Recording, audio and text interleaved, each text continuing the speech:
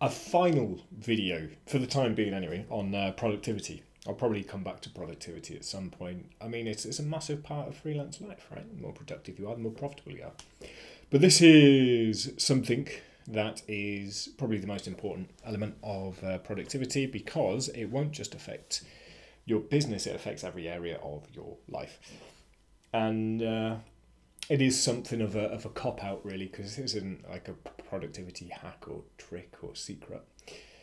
The advice is just get a good night's sleep.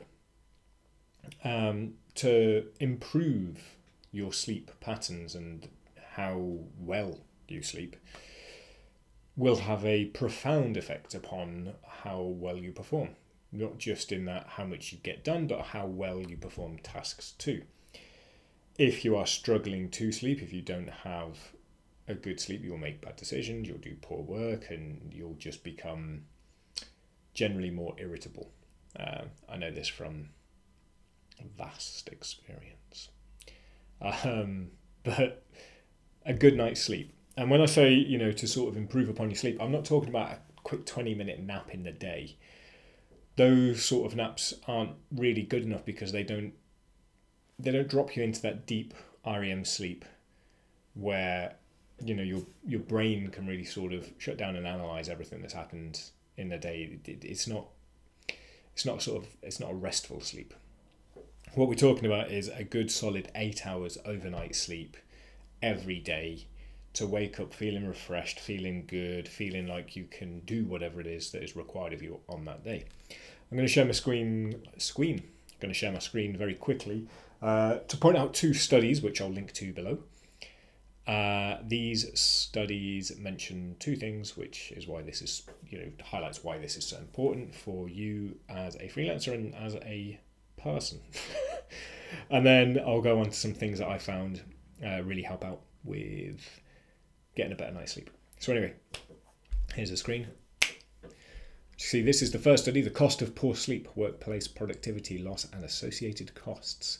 The results compared with at-risk and good sleep groups, insomnia and insufficient sleep syndrome groups had significantly worse productivity, performance and safety outcomes.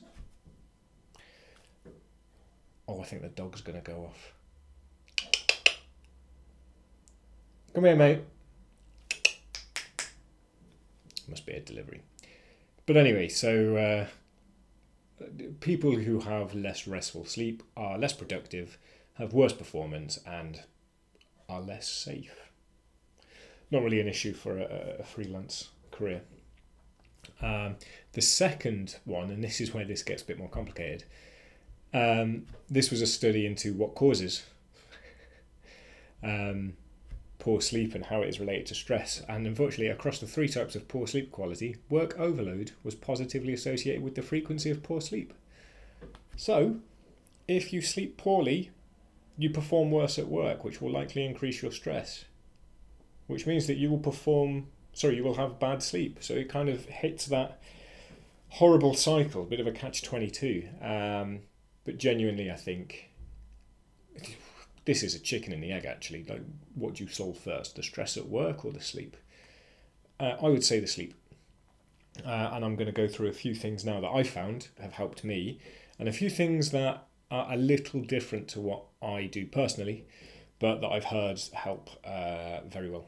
Um, so the first thing is no laptop, no phone, no iPad, no television, no PlayStation, no whatever, um, for an hour or two before bed. Um, I believe it's blue light, the kind of light that these things emit, trick your body into believing that it is daytime and so it's not yet time to sleep. So it takes you a while to wind down from that. So, you know, if you've got your phone and everything near your bed and you're there and you're one of these people like my wife who's YouTubing uh, just before she goes to sleep, you will find it more difficult to get to sleep and have a restful sleep. Now, what I will say is, from my own experience and from what I've read, a Kindle, a Paperwhite Kindle, which is what this is, is fine because uh, it emits the a completely different kind of light that doesn't sort of mess you up. Uh, but iPads, phones, uh, laptops, TVs, all of that at least one hour before you actually want to sleep, don't look at them. Um, I find as well, before I go to bed, I like to have a really hot bath. I have scaldingly hot baths. Uh, it, personally, it's a very good way for me to relax. Uh, I'll often take this Kindle in the bath with me and read while I'm in the bath. Or I'll put some music on, or I'll take the iPad in and put a really shit movie on in the background. but you know, just you know, just something that you can do to help you relax in that bath. I find it uh, extremely beneficial. It releases a lot of tension that I get up in my upper back. Um, it helps calm me down. It's wonderful. Um, definitely try that hot bath if you don't have a bath, hot shower. Um, in addition, I have a cup of tea before I go to bed. Now, what I should say here is that this is not a cup of black tea. This is not, uh, you know, breakfast tea or anything like that. I have like a I have a cup of peppermint tea because from about 5 p.m. well from the evening really so from about 6 p.m. onwards I won't have any caffeine. I cut it I cut it out from there. Um, I'm not a huge caffeine drinker. Since I became a freelancer, I'm drinking way more coffee just because I go to a lot of coffee shops to work. Um, but no black tea, no coffee, nothing with caffeine in from maybe six, seven at a push if I'm working in a coffee shop late uh, it just it just doesn't sit well with me. It gets me gives me the jitters, and then I can't get to sleep. So I have a cup of tea though. I have a cup of peppermint tea before I go to bed. I take it. It sits on my bedside table, so I'll have you know a book in one hand and a tea in the other, and I'll drink a nice tea. Now I read actually that it, it was I think it was Tim Ferriss, um, who recommended. Oh, what was it?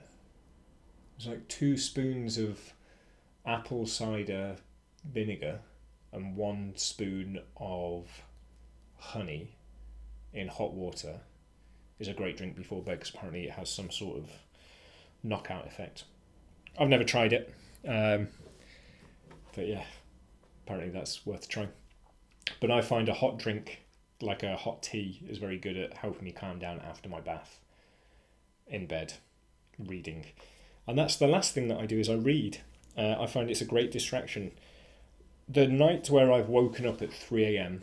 or haven't been able to get to sleep until 1, 2, 3 a.m.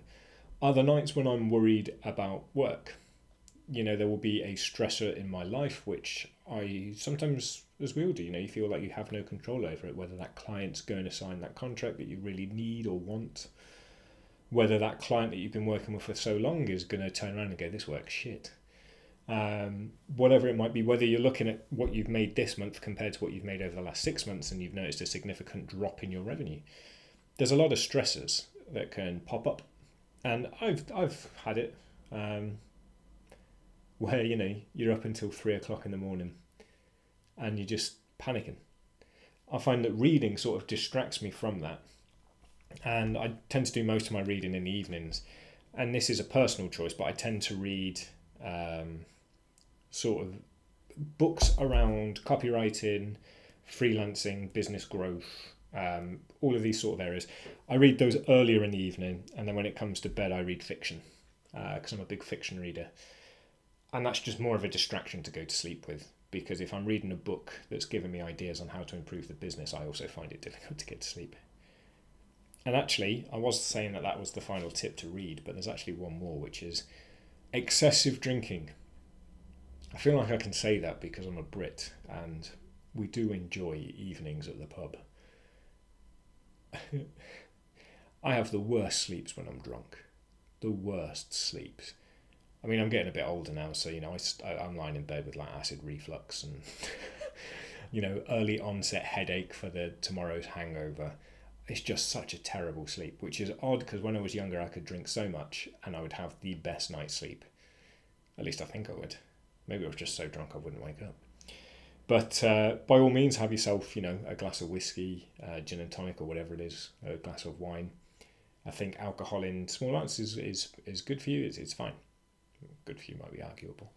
Um, but yeah, don't make a habit of going out for big celebratory nights because uh, generally they don't lead to a restful night's sleep.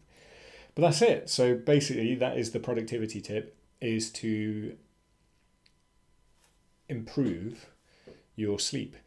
Uh, there are a couple of apps that you can use and a couple of um, products to help you map how well you sleep every night, and then you can see how well on you're doing on how well you improve things. If you're very goal oriented, these are great. Uh, there's something called an Oura ring, which I've heard many people speak very highly of. I've never tried one. I don't like wearing rings. I only wear a wedding ring because, I mean, you know, have to. My wife would kill me. But also, there is an app. Somebody's rude outside. There is an app called Sleep Cycle, which I have on um, iOS. I'm not sure if it's on Android. I'm pretty sure it must be. And this thing will, you, you basically start the app before you go to sleep, put it next to your bed, turn it side down. You set an alarm and then you press start, and it will give you readouts of like uh, how well you how well you slept. So you can use that to sort of try and optimize your sleep.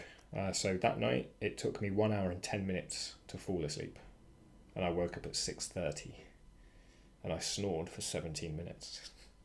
Um, but yeah, it's a good app. It's free. There is a paid level to it. I've never bought that. I've only bought the free one. But I'll drop a link to that as well down below. But yeah, that's it. Productivity really comes from you being on top of your game. And the best way for you to be on top of your game is to look after yourself. And a big part of that is to just sleep soundly. Uh, those are those tips. I will see you soon.